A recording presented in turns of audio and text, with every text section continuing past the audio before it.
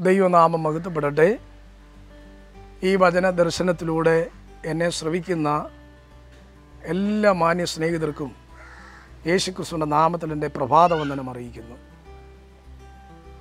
ഇന്ന് രാവിലെ സമയം ദൈവജനത്തിലൂടെ ഒരു ചിന്ത നിങ്ങളെ ഓർമ്മപ്പെടുത്തുകയാണ്. ദൈവത്തിന്റെ ദാസനാകുന്ന പൗലൂസ് ഫിലേമോൻ എഴുതുന്ന ഒരു ലേഖനം അത് വേദപണ്ഡന്മാരുടെ അഭിപ്രായത്തിൽ ഒരു ശുപാർശ കത്താണ് അതിൽ ഒനേസീമോസിന് വേണ്ടി എഴുതുമ്പോൾ അതിന്റെ ഏഴാം വാക്യത്തിൽ ഇങ്ങനെ പറയുന്നു അവൻ വിശുദ്ധന്മാരുടെ ഹൃദയം തണുപ്പിച്ചവനാണ്. ഇന്ന് രാവിലെ എന്നെ കേൾക്കുന്ന വാത്സല്യമുള്ള സ്നേഹിതരെ ഈ ചെറിയ ഒരു കത്ത് അത് സ്വർഗത്തോളം എത്തുന്നതായി തീരുവാൻ കാരണം തിരുവിടത്തിൽ അതിന് സ്ഥാനം പിടിക്കുവാൻ കാരണം മറ്റൊന്നുമല്ല.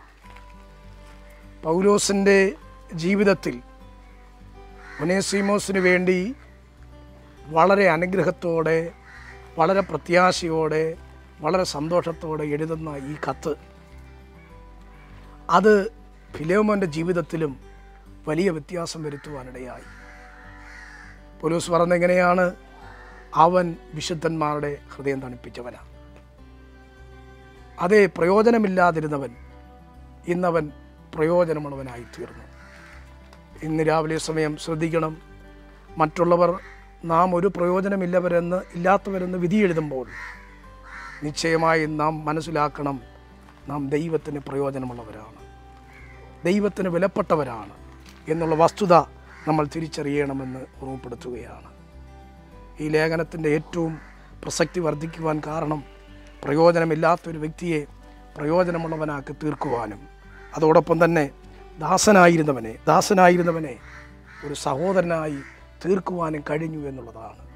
ആ പൗലോസിന്റെ ദർശനം ആ പൗലോസിന്റെ വെളിപ്പാട് തകർച്ചയിലേക്ക് പോകുവാൻ ഇടയായ ആ വ്യക്തിയെ കൈപിടിച്ചുയർത്തത്തക്ക നിലയിൽ ദൈവസന്നിധിയിൽ പ്രയോജനപ്പെടുത്തുവാൻ തക്കവണ്ണം കഴിഞ്ഞു. ഇന്ന് എനിക്ക് നിങ്ങളെ ഓർമ്മപ്പെടുത്തുവാനുള്ളത് നമ്മുടെ ഒരു ചെറിയ വാക്കുകൾ പോലും നമ്മൾ എഴുതുന്ന ഒരു വരികൾ പോലും ആ ദൈവത്തിന്റെ നാമത്തിന്റെ മഹത്വത്തിന് വേണ്ടി പ്രയോജനപ്പെടുത്തുവാൻ കഴിയുന്നു എങ്കിൽ അത് ജീവിതത്തിൽ ഏറ്റവും ശ്രേഷ്ഠമായ ഒരനുഭവം തന്നെയാണ്. അതിനായി സർവശക്തൻ നമ്മെ സഹായിക്കട്ടെ. അതെ മറ്റുള്ള ഹൃദയത്തെ തണുപ്പിക്കുവാൻ നമ്മൾ കഴിയണം. പൗലോസിന്റെ ലേഖനം അത് ആ ഒരു വ്യക്തിയെ ദൈവത്തിന്റെ ദാസനാകുന്ന ഫിലോമോന്റെ ഹൃദയത്തെ തണുപ്പിച്ചു. ചരിത്രം ഇങ്ങനെയാണ് പഠിപ്പിക്കുന്നത്.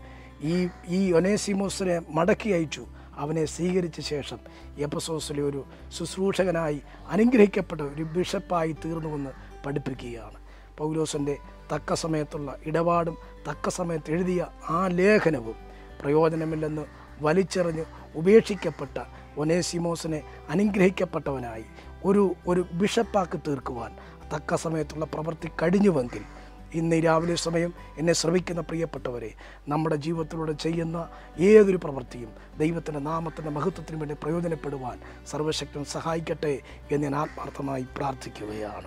ആ ദൈവത്തിന്റെ കരങ്ങൾ നമ്മെ സമർപ്പിക്കുക. നമ്മൾ പ്രയോജനമുള്ള ഇല്ലാത്തവരെന്ന് പറയുമ്പോൾ നമ്മളെ പ്രയോജനമുള്ളവരാക്കി തീർക്കുവാൻ ദൈവത്തിന് കഴിയുമെന്നുള്ള ഉറപ്പോടുകൂടി ഞാൻ വാക്കുകൾ നിർത്തുന്ന. സർവശക്തൻ നമ്മെ സഹായിക്കട്ടെ.